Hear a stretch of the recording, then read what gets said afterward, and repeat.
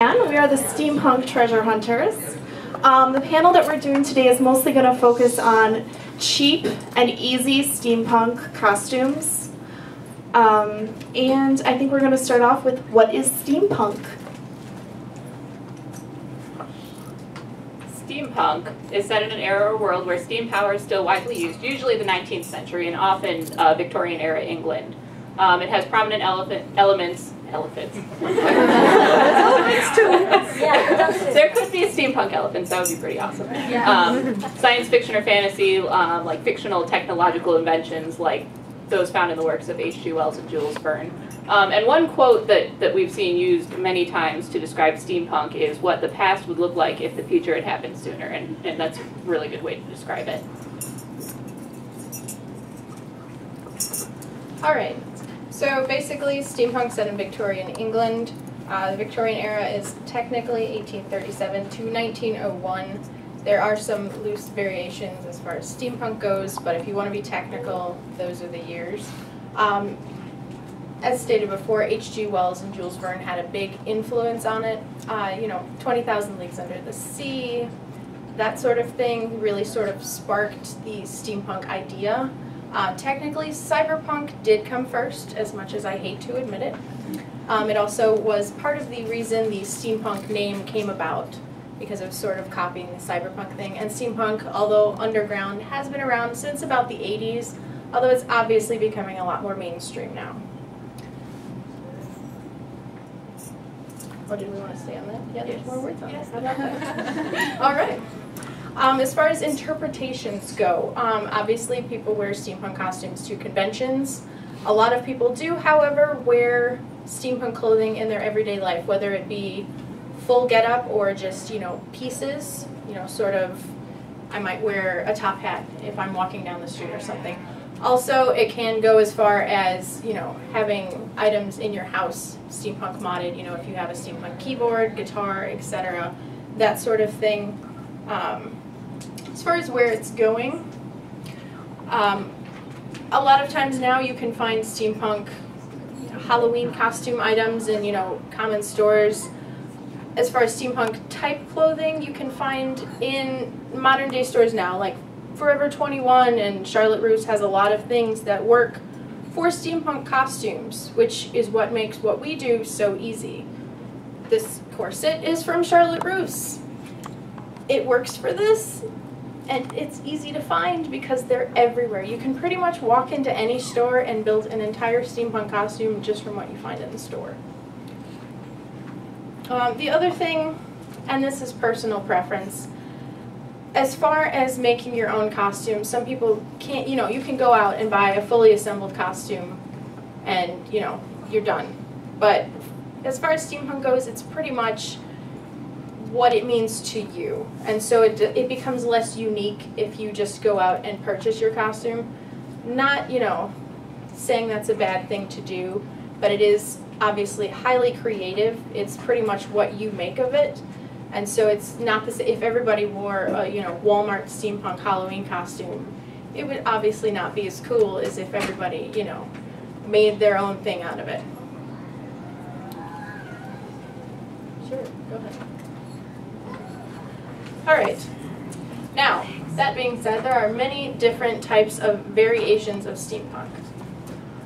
First off, traditional. This would be much more the just Victorian era. It doesn't necessarily have to have any modifications, just the fact that it is Victorian does make it steampunk because now is not the Victorian era. Um, you can add some modifications on this, you know, it, it's not exactly traditional, but it's, you know, more traditional than like what we're wearing. Western, obviously. Hello, we're Western. Um, pretty much with this, you know, cowboy hats, that sort of thing. Obviously not Victorian England, but the Western in the U.S., that sort of thing. Guns, holsters, the whole getup. Pirate is another one little different kind of out there, but it still it still works. Um, these have some obvious, very elaborate modifications. Uh, also going along with pirate, is pirate next? I hope it's next. Yes. Aviator also can go like a sky pirate kind of thing. You know, you're on an airship, but you're a pirate. They're kind of all hand in hand. Um, honestly, they kind of blur together after a while, but if you want to try to go with a themed one, the easiest way to do is just pick, like we picked Western. And so we went specifically with Western, but you can like sort of blur the genres together. It's very easy to do that. Civil War, a lot of people forget that the Civil War happened during this time period, so it is an acceptable way of costuming. Along with that, military, you know, not as widely seen, but still does exist. Explorer, the biggest piece of this would be the pith helmet. Um, not much to say on these. yes.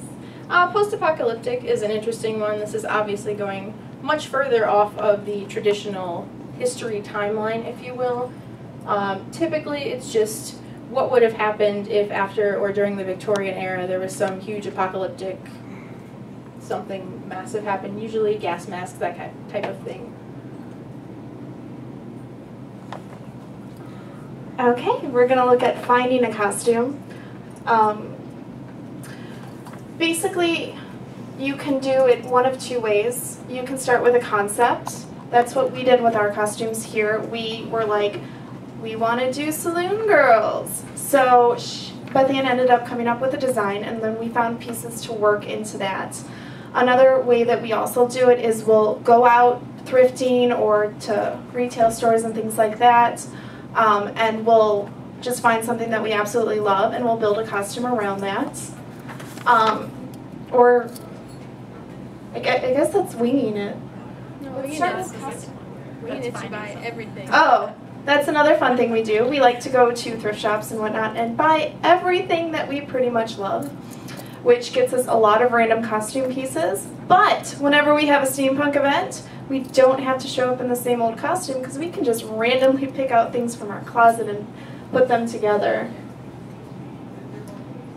Um, different places that you can get it is your armoire. Aren't we fancy? Um, but I found this skirt in my closet.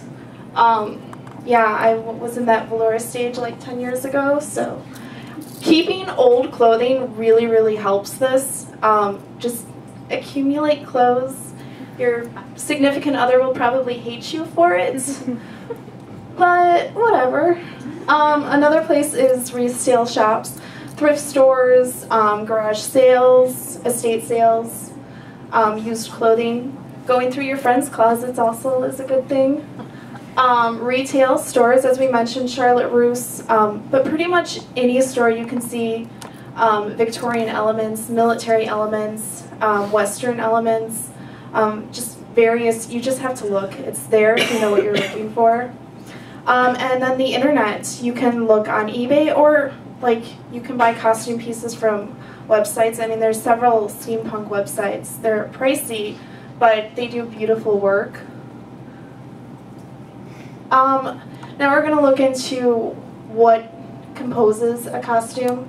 Um, textiles that you would see back then would be corduroy, cotton, canvas, leather, and velvet wool, silk, lace, twill, and suede. You're going to want to avoid denim, knits, and synthetics. Wasn't Levi's made back then? Go ahead. Denim was mostly used for work clothing to cover the like common classes, uh, like the clothes that they wanted to keep clean. Pretty much stay away from it. I you could, but it's pretty much looked down upon. It was used pretty much just for I'm working in the field. I don't want to get my clothes dirty. So you could, but recommended not to. Yeah, and these are not hard and fast rules. I mean, there's a slide up ahead that shows how you can totally say, screw this, we're going to create an awesome steampunk costume using things that you wouldn't think of. Um, next is colors, I think. Okay, colors and patterns. Um, classic patterns are okay, like they had lots of floral, um, uh, stripes, polka dots, basically anything that's in your grandmother's closet, really. Um, but avoid things like camouflage, animal print, text. I mean, animal print you might be able to pull off if you do like an ethnic cosplay. I hate that word, but more like, you know, African or something like that. You could maybe try and pull that off. But for classic steampunk, you usually stay away from that. Text, I mean, I've seen some pretty corsets and things like that where they have text written on them, but it wasn't a pattern that they used back then. Um, and then colors, richer colors denote higher social status because the dye costs more. So the longer you left it in there, the more expensive the cloth was going to be, and the richer the color, the more expensive. So usually duller colors for cheaper things. Um, and then for colors, all you really need to avoid is neon, unless you look like this. This is a really amazing group. Instead of, you know, a lot of people mod Nerf guns for their steampunk guns. You have one there, and then they just paint them. They instead went and decided to make their costumes match their Nerf guns. So, I mean, these really aren't rules. You can just, you can look amazing doing stuff that wouldn't normally work. Okay. Elements of style. Um, this is, I just basically want to go over what women used to wear.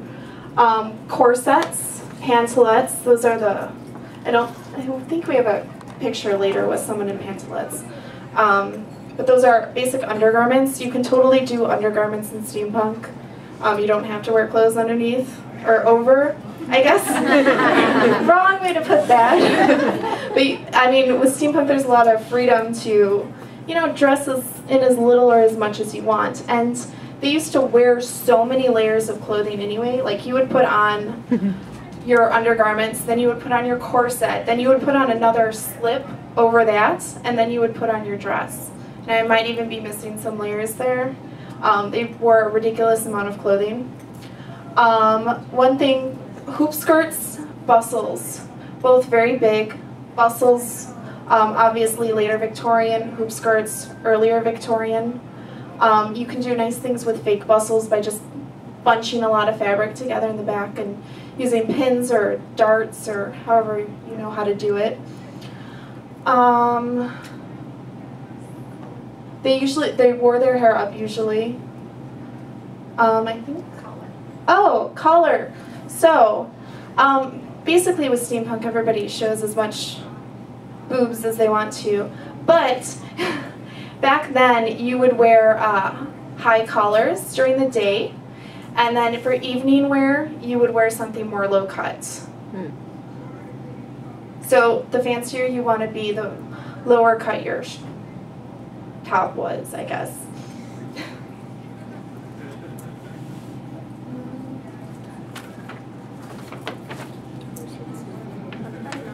Oh, corsets. They had a wide variety of corsets during this time. They had underbust, they had overbust. Um, really, you can do pretty much anything with the corsets. Um, like, it went into the Edwardian period that they started getting really long, where they would cover your thighs too, or I guess your hips, but um, usually anywhere around here, you can get away with it. Various styles.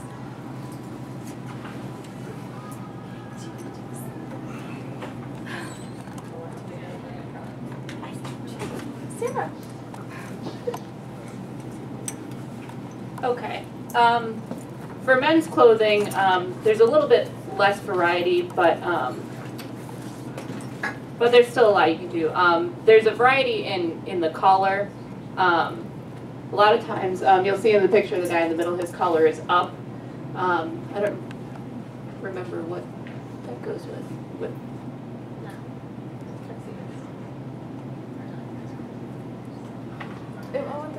with the cr oh, cravat, yes. Okay, so if you're going to wear a cravat, which is a type of a, a tie, you would do a, a popped collar. The guy on the far left, I believe, is wearing a cravat. It might be a little hard to tell. Um, but it's also okay to do a folded down collar as well.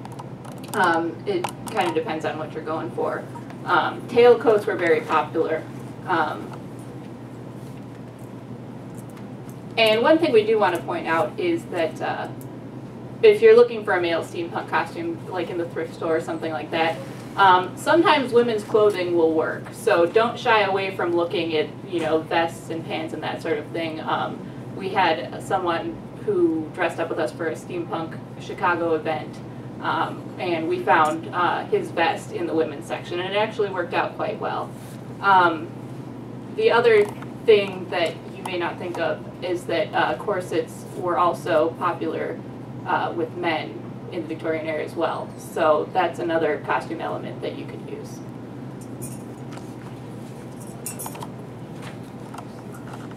All right, accessories.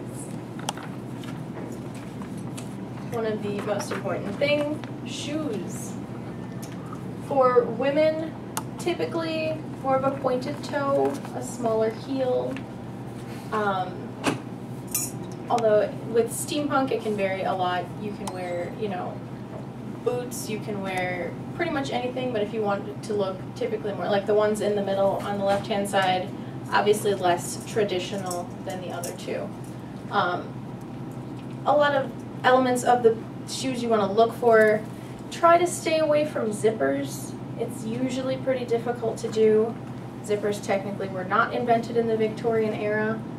A lot of times you can't avoid this. Buttons, very good, like a hook and eye type of closure. Um, pretty much any other way of latching them aside from a zipper. Or Velcro. Or Velcro, yes. Um, uh, buckles are also very good. Believe there's some on there. Yes, yes, there are. Uh, typically want to avoid any shoes with open toes, um, like, you know, hooker shoes, so to speak. Uh, obviously, no Not all- tennis shoes. Not all of hooker shoes, yes, but just don't want them to be completely over the top. Typically, shoes are more not sensible, but reserved, sort of, I suppose. Um, spats weren't thing. seen for women, so um, back then, I mean, shoes weren't really seen. They would peek out of the dresses every now and then when they walked, but um, you know, you couldn't really have as much of a fashion statement as you could nowadays, just because they didn't show off their legs. Um, and then you know, English men are so stuffy; they don't get to wear cool shoes. Yeah, typically with guys' shoes, honestly now just regular guys' dress shoes work just fine. Um, on the bottom, more of just like a boot style also works just fine. Uh, also with both men and women, uh, spats can be used. Uh, there's also shoes that look like they have like a faux spat sort of thing on them. The top demonstrates that. Typically in white with black buttons is what you'll see most of the time, but the color can vary pretty much however you want. Um, you can find a lot of shoes now that typically, like, you know, mock the spat fashion without actually being spat. As far as headwear goes, there is a wide, wide variety of different types of hats you can wear. Um, should I just read them? Yeah. Okay. I'll point to the, the less you obvious ones as they go. Okay. Top hats, obviously, for men. Are you gonna point to them? Well, the top hat is obvious. I'm I think you should point to all of them. Oh, all of them? Yes. I don't know what a top hat is. All right, there's a top hat. All right, okay. Uh, bowlers. This is much more for the working class. Um, something we're going to call precariously perched tiny toppers. This is definitely much more found in steampunk. Um, pretty much it's, it's like a tiny top hat, either held on with like a headband or perhaps some clips, bobby pins, something, usually precariously perched. Or on a cap. uh, the newsboy hat is also very popular. That would be more like, uh, I've seen it in a lot of women's fashion as well. You wear, you know, like, wear the like knicker type pants and like a vest and you're, you know, definitely much more working class than not. The boater. Another typically male hat. The deer stalker. Sherlock Holmes. Yes, definitely. More, more commonly known as the Sherlock Holmes hat. So, Detective Steampunk, go nuts. Cowboy, I think we hopefully all know what that one looks like. That one's obviously a taller cowboy hat, but any type of cowboy hat pretty much works. Uh, bonnets were, were very big. Do you want to say anything about bonnets? Um, basically, they had a wide variety of styles because this was how women showed off. Um, both that and the Kentucky Derby hat there. Um, both, I mean, they would do elaborate, elaborate hats and you, I mean, women would always wear bonnets when they go out, except maybe in the evening. And um, definitely big at church. So when they were going to church, they would definitely pretty that up because it, you're actually not allowed to, women back then weren't allowed to show their hair in church just because of some arcane biblical rule. So pretty hats at church. Um, oh, and veils. They would also wear veils, um, generally during during mourning um, or weddings. Next is the fascinator. We do not have a picture because they are the feathers we are wearing, typically held on a headband or some sort of clip. Um, pretty much just a bunch of feathers, another sort of show-off kind of thing, but without being an actual hat. The flat cap. Also a working class hat, um, very similar to the newsboy hat. The pith helmet, mentioned earlier, typically used in sort of an explorer, adventurer kind of, I'm going through the jungle kind of thing. The slouch. That one for us. That was it, that was an Australian hat used by the military. Um, I think I'm pretty sure other militaries ended up adopting that hat as well. Um, but I think it's a cool looking hat. So. And as mentioned before, Kentucky Derby hats. We don't know the actual name. It's the only name we could find that There was. was church hats, wedding hats. Yeah, Yeah. they have a lot of other, you know, church hats, wedding hats. Big Pretty much they're hats. about as over the top as you can get with a hat. That would be the uh, main point there. All right, jewelry. There is a lot of different types of jewelry, both traditional and currently acceptable. The biggest being the cameo. um, you can find this again a lot in modern day things. Obviously, it's more common, you know, going to like estate sales, resale shops, that sort of thing. But it is very popular even in modern stores. So it's pretty easy to find. Typically a brooch or a necklace, but you can find earrings and that sort of thing as it as well. Pocket watch, probably one of, well, higher up on the list of traditional, typical steampunk items. Yes, she has a pocket watch. Doesn't have to be working, doesn't have to, it's pretty much more for show than anything. A lot of people like to have, you know, old working uh, pocket watches. They're handy, they look nice. Pearls, another traditional type item. Um, pretty much can, I suppose, class up anything that you're doing. I think a lot with steampunk, it's an interesting mesh between being very industrial and being very elegant at the same time, particularly for women. So adding pearls to something that's, you know, hard and metal can make it just an interesting juxtaposition, if you will. Bless One thing I did want to point out um, when she mentioned pocket watches is wristwatches. They didn't have them back then. Isn't that crazy? I forgot when they were invented, but definitely everybody had a pocket watch. Um, men used to wear cufflinks. They didn't used to have buttons down there, so they used to have to wear cufflinks. Um, the chatelaine is right there, and it's something that women would hook onto um, like their belt, Hmm. and it would have like little different items, um, like the keys and little sewing things and trinkets and stuff like that that they would need to get to. They'd put pencils. Oh, they put pencils on there too. Um, filigree is, um, you'll notice that's filigree work on that ring. Um, very, very popular during the Victorian era. And for earrings, they didn't use posts. They had, they're so all dangles.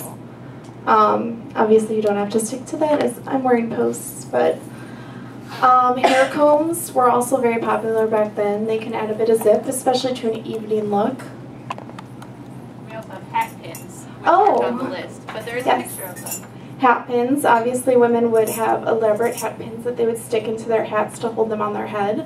Um, their hair was very poofed up so that they would actually literally pin their hair to their hat to keep it on. Um, miscellaneous accessories, um, gloves. Um, women wore large varieties of length. I mean, opera gloves up here to shorter ones. Um, stockings were actually, they had a wide variety of colors and patterns. Um, one thing I would like to point out that fishnets weren't invented yet. You do see that a lot in steampunk, and obviously, you know, everybody has their own take on steampunk, but it wasn't technically Victorian. Just like zippers aren't, but sometimes we cheat. Um, garters. Uh, obviously, women would wear them to hold their stockings up, but men also used to wear them around their arms because uh, when they would buy shirts, they would all be one length. It would be a one size fits all type of deal. So the arm garters were there to kind of hold up their sleeves at the correct length for them. Um, for neckwear for men, um, obviously the cravats. Yes, that's the picture there. Um, they would also have ascot, and the difference between a cravat and an ascot is an ascot is worn um, against your skin, and the cravat is worn over your shirt. Um, belts, very popular in steampunk. We have a tendency to go shopping and just buy dozens and dozens of belts at a time. Um, you know, a wide variety of styles and kinds. Um, glasses for steampunk. Um, you can get these, oh, this is a loupe. See these things, very neat. Um, and you can actually buy them on Amazon.com for very, very cheap. One thing to note with buying things such as the loupe online, a lot of times you find if someone puts the word steampunk in front of it, you'll notice it magically triples in price. Uh, if you do a little searching around, it, like if I bought these on a site called Gentleman's Emporium, they would have cost me $12. I got them for 5 on Amazon. They are painted bronze. It took about 5 minutes with some acrylic paint. A lot of times you find, you know, it's a lot cheaper if you do things like that yourself but typically stay away from things where it's obvious that they're putting the word steampunk so people pay more for it. So definitely shop around if you're doing things like that online.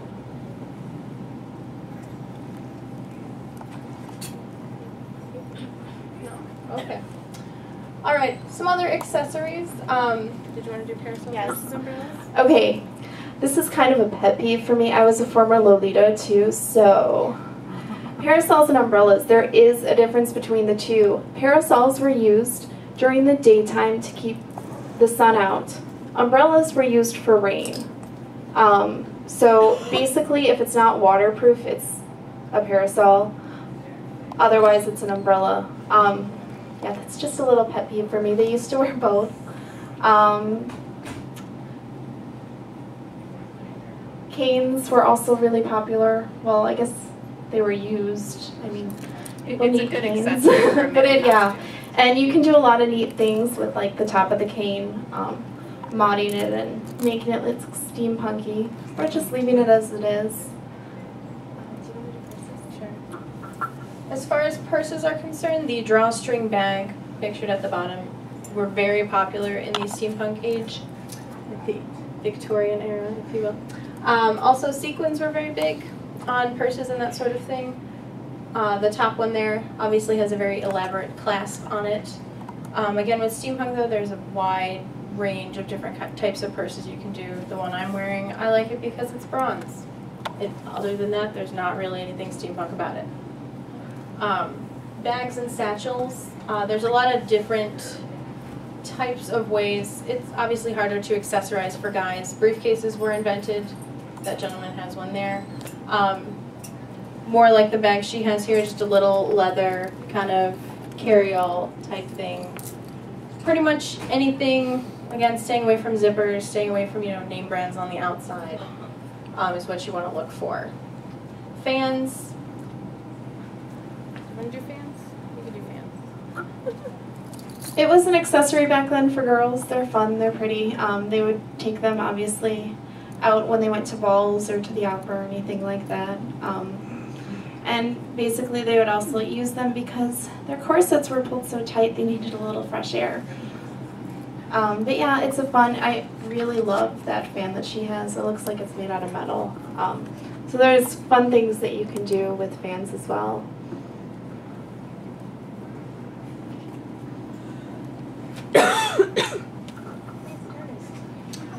All right. Now, goggles is probably one of the most commonly recognized steampunk things. I would say a typical mistake for people is assuming that you have to have goggles. And this is completely false. Goggles are not required. I do not even own a pair of goggles. I would love to, but I do not.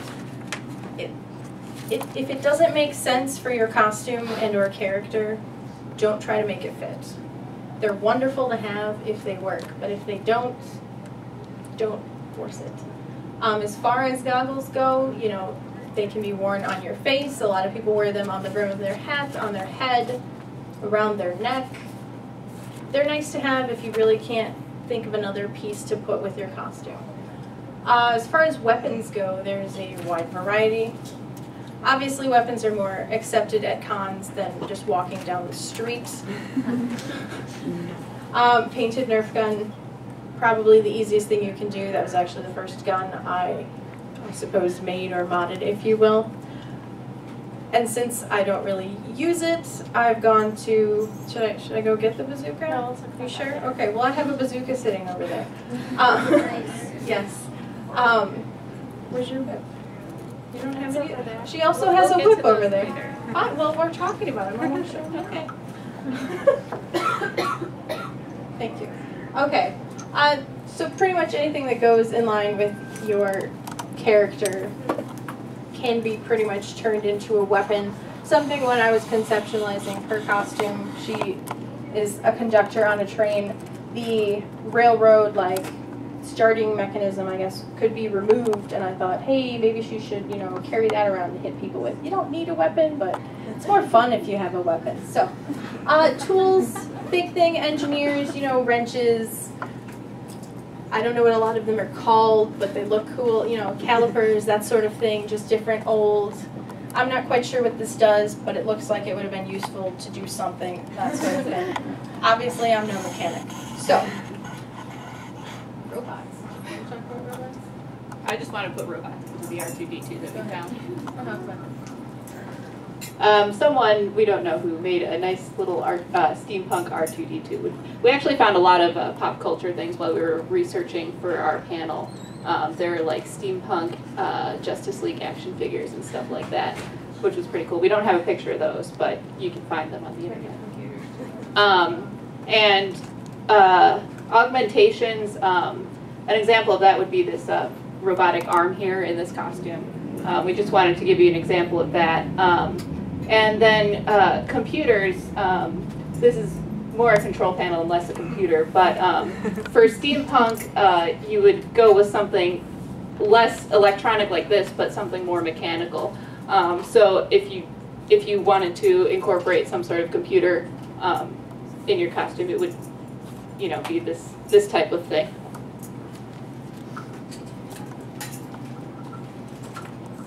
All right, now the fun part, alterations and modifications. So you've gone out, you've bought all this stuff, and it's not quite steampunk enough, and you don't know what to do with it. Okay, for one thing, we have a motto it has to work. We've bought many things that we liked that weren't quite perfect, and there's a variety of things that you can do. Um, obviously, tailoring, if you have any somewhat basic sewing skills, um, you can always do that. Um, we have special skill levels. Um, Beth Ann is not domestically inclined, I would like to say.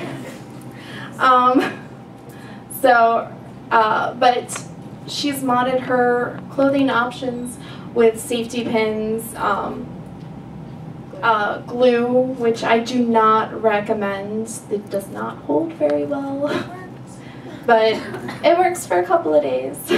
But again, if you're in a bind, glue works great. Um, and there's special fabric glues as well.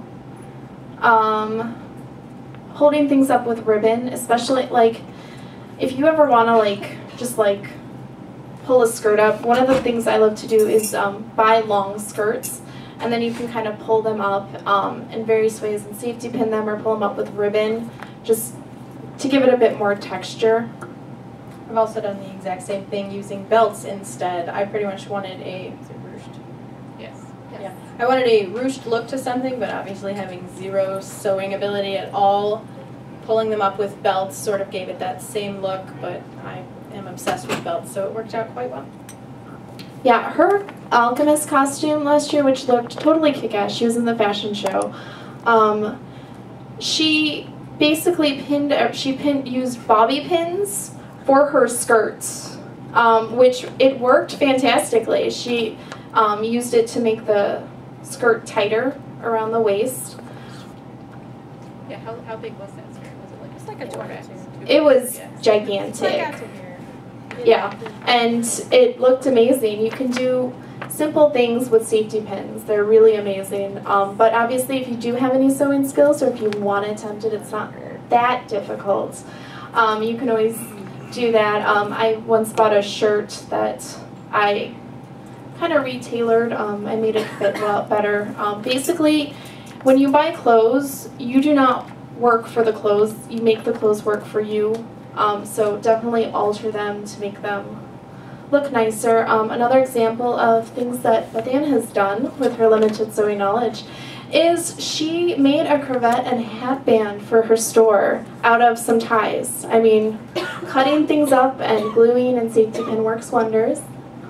Yes, as far as that goes, pretty much cutting the tie in half made the hat band out of the skinny part, and the cravat was just pinned to the shirt and the collar, and it was just puffed up enough to do it. So instead of spending who knows how much on, you know, silks and things like that, it was a dollar a tie, and it worked wonderfully for what I needed it for. So a lot of creativity can, you know, benefit you as far as modding things goes. And simple, simple things to change are buttons and adding appliques. Um, the vest Sarah's wearing, I just bought some new buttons at Joann's. They were these ugly plastic clear ones before, and the vest looks a lot better now than it did. Um, that's an easy, easy way just to make things look better. Um, and applique